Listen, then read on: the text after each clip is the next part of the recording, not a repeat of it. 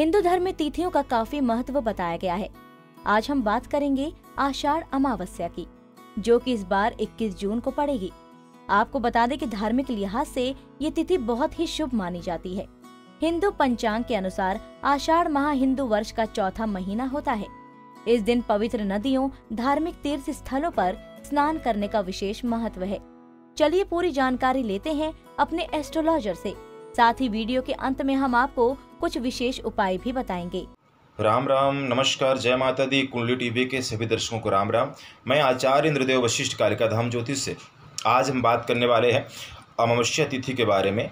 21 जून दिन रविवार को अमावस्या तिथि मनाई जाएगी, जबकि ये 20 जून दिन शनिवार को ग्यारह बजकर इक्यावन मिनट से प्रारंभ होकर 21 जून दिन रविवार को बारह बजकर दस मिनट तक रहेगी। हर तिथि का अपना अलग महत्व है। तो इस बार अमावस्या तिथि का भी विशेष महत्व है आषाढ़ अमावस्या तिथि का। वैसे तो पूरे आषाढ़ मास में ही भगवान विष्णु का पूजन, दान पुण्य आदि करना चाहिए। हिंदू पंचांग के अनुसार आषाढ़ मास चौथा मास माना जाता है। अमावस्या के बाद आषाढ़ अमावस्या के बाद ही पूर्णतः वर्षा ऋतु प्रारंभ हो जाती है। चंद्रमा की सोलह कलाओं में से घटती और बढ़ती कलाओं का ये परिणाम है। हर माह के दो पक्ष बनाए गए हैं। शुक्ल पक्ष पंद्रह दिन, यानी जब चंद्रमा की कलाएँ बढ़ती हैं तो शुक्ल पक्ष है। आपने देखा होगा, तब जाकर पूर्णिमा को पूर्ण चंद्रमा दिखाई देता है, कलाएँ बढ़ते बढ़ते और जब घटती हैं तो कृष्ण पक्ष है। अमावस्या की रात बिल्कुल पूर्णतः रात होती है। या यूँ कहें, घनघोर रात्रि होती है। लेकिन अमावस्या की रात्रि तंत्र के हिसाब से भी ज्योतिष के हिसाब से भी बहुत महत्वपूर्ण रात्रि है। इस दिन। पहली बात तो मंत्र साधना के लिए, तंत्र साधना के लिए बहुत महत्व है इसका। देखिए, इस संसार में जितनी भी चीज़ है, जितनी भी चीज़ों की आप कल्पना कर सकते हैं, सब कहीं ना कहीं विद्यमान है। आप हर चीज़ का प्रभाव महसूस कर सकते हैं। किसी रेत के कण को भी अगर आप बहुत मल के भी ख़त्म करना चाहें तो दिखाई तो नहीं देगा, लेकिन उसका अस्तित्व तो बचा रहेगा। इसीलिए इस संसार में हर चीज़ का महत्व है, हर चीज़ विद्यमान है, हर चीज़ का प्रभाव है। तो अमावस्या वाले रात को भूत, प्रेत, देव, दानव, ये सब बहुत ज़्यादा यूँ कह ले एक्टिव रहते हैं, इनका प्रभाव रहता है। और इसीलिए इस दिन मंत्र साधना के भी बहुत प्रभाव है। पितरों के निमित्त तो आप स्नान ध्यान करके, वैसे तो लॉकडाउन है, नहीं तो पवित्र तीर्थ आदि में स्नान ध्यान करके पितरों के निमित्त दान, पुण्य, तर्पण आदि किया जाता है। लेकिन आप घर पर ही स्नान ध्यान करने के बाद ज़रूरतमंद को या मंदिर आदि में धार्मिक स्थान पर आप पितरों के निमित्त दान, पुण्य कर सकते हैं, पितरों से प्रार्थना कर सकते हैं। अपने परिवार के लिए पितरों से क्षमा याचना कर सकते हैं कि हमारे परिवार से हमसे कभी कोई भूल हुई हो, उसे क्षमा करें और हमारा जीवन सफल करें, हमारे कार्य सिद्ध हों। इसी तरह से अमावस्या तिथि वाले दिन अगर आप उपाय करना चाहते हैं तो आज आपको बहुत महत्वपूर्ण उपाय जानने को मिलेंगे। अगर आप करेंगे तो शत प्रतिशत इसका परिणाम आपको सामने नज़र आएगा। देखिए, अमावस्या वाले दिन तो वैसे व्यक्ति को पूर्णतः पवित्र रहना चाहिए। कोई मादक वस्तुओं का सेवन नहीं करना चाहिए। मांसाहार या शराब इत्यादि का सेवन नहीं करना चाहिए।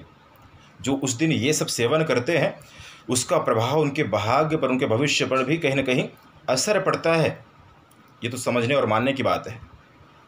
उपाय करना चाहते हैं आप तो? पहली बात तो अवश्य वाले दिन पीपल वृक्ष के पास आप दीपक ज़रूर जलाएँ। कड़वे तेल का दीपक पीपल वृक्ष के पास जगाना है और पीपल वृक्ष की सात बार परिक्रमा करनी है।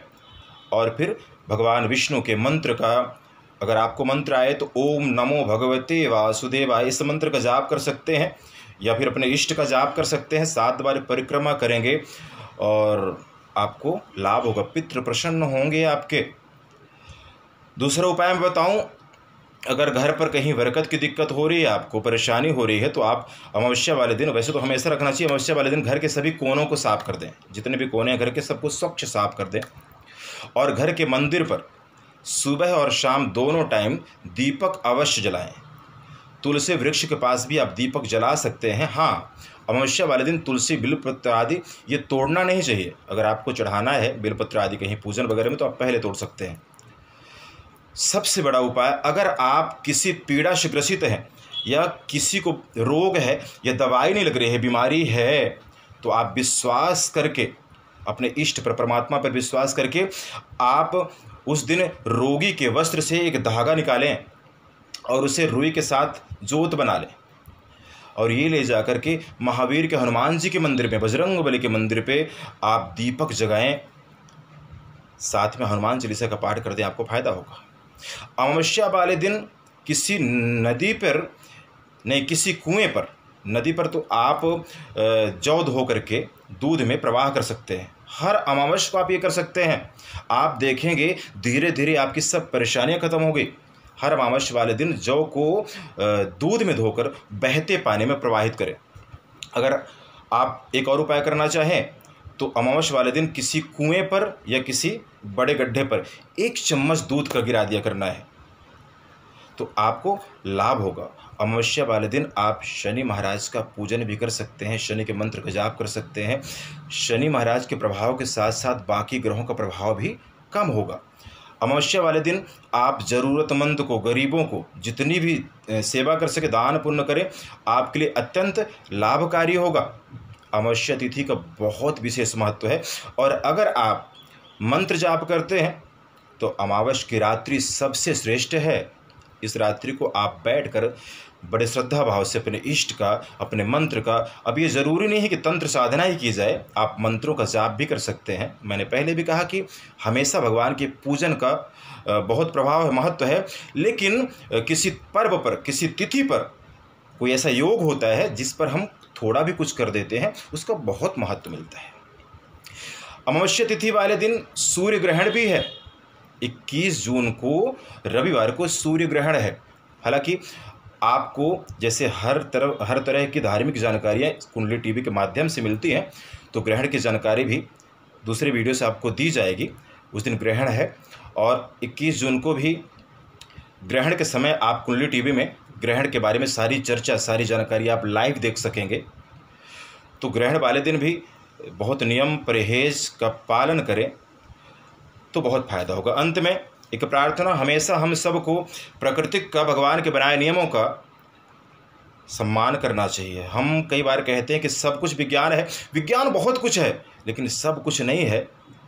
अब आज का हालत देख के आप समझ सकते हैं, विज्ञान से परे भी कोई शक्ति है जो अपना प्रभाव दिखा सकती है। इसलिए प्रकृति का सम्मान करना चाहिए, वृक्ष आदि लगाना चाहिए और जल की बचत करनी चाहिए, पानी की बचत करनी चाहिए। वैसे भी जिस परिवार में पानी बहुत वेस्ट करते हैं लोग, उस परिवार पर क्लेश और बरकत खत्म हो जाती है।